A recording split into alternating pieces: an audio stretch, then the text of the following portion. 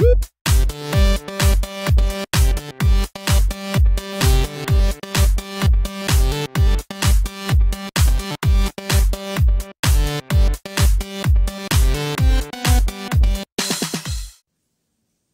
aí galera do Tecle, hoje vamos falar do Moto G20. É, esse belo smartphone que eu estou te mostrando aí nesse vídeo.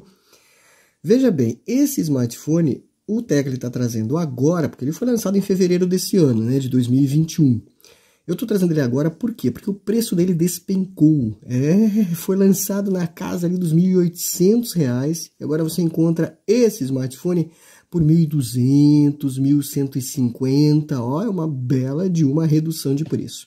Vamos trazer as especificações, vamos mostrar esse smartphone para você, mas antes eu peço que você não se esqueça de se inscrever aqui no canal, dar o joinha para o YouTube entender que você gostou desse vídeo e também compartilhar com seus amigos e amigas esse preço, né, esse novo preço, essa possibilidade que você pode ter de de repente adquirir um Motorola G20, levar ele para casa, você que está pensando talvez até em trocar de smartphone. Bom, é um Android 11 que vem embarcado no Moto G20.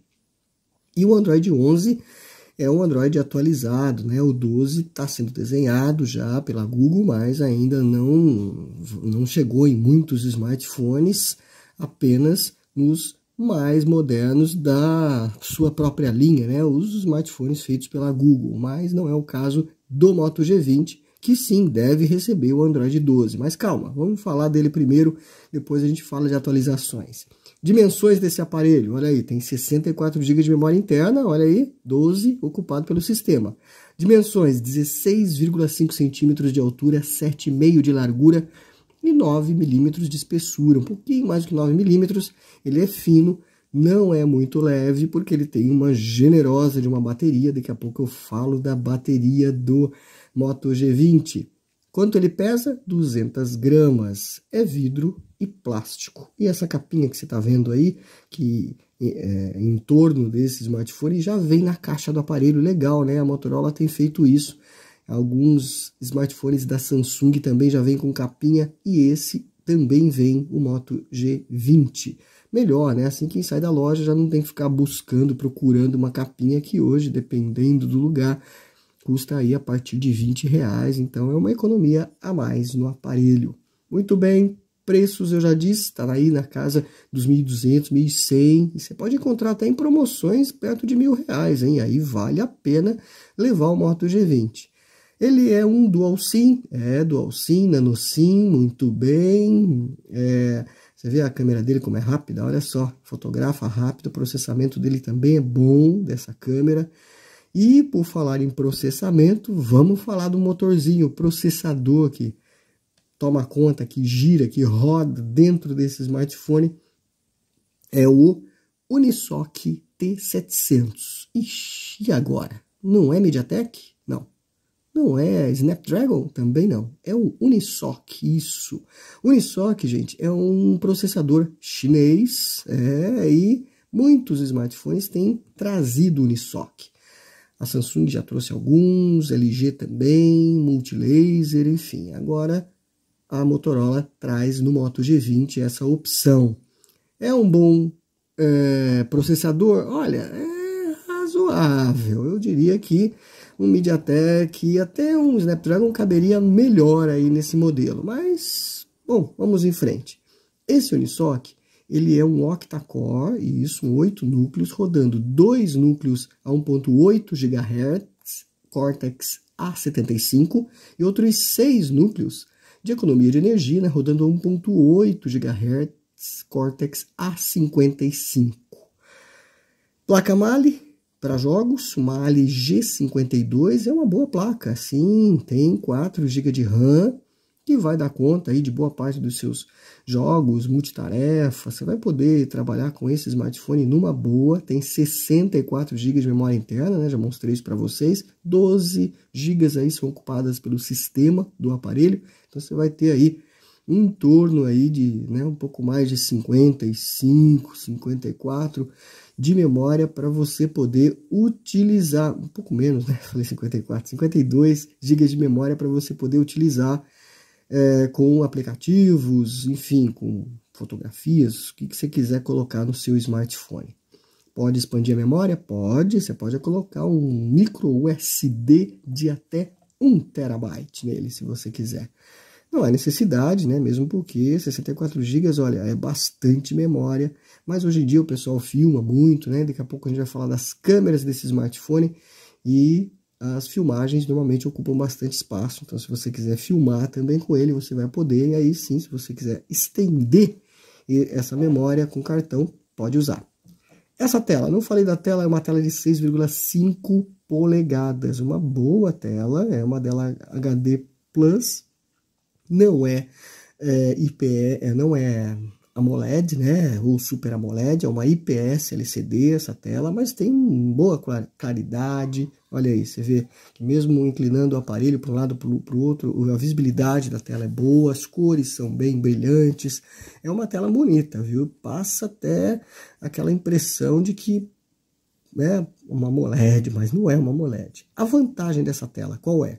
É uma tela com atualização de 90 Hz. Isso boa parte dos smartphones não tem essa atualização, né? Agora muitos trazem 90, outras trazem até 120 Hz, que é ideal para jogos, games. Então, se você gosta, tem de repente vontade de dar um smartphone para alguém com é, uma boa atualização e a tela 90 Hz é uma boa opção de tela, principalmente, né? Se está pensando em dar, por exemplo, teu filho, enfim, é uma possibilidade aí você comprar um Moto G20. Vamos falar das câmeras? Isso, são quatro câmeras na traseira, mais a de selfie, né? São cinco câmeras, então é um bom conjunto de câmeras, sendo que a principal câmera desse smartphone que vem na traseira dele tem 48 megapixels e depois uma 8, né? Uma wide, que é aquela que amplia bastante, né? No caso aí o ângulo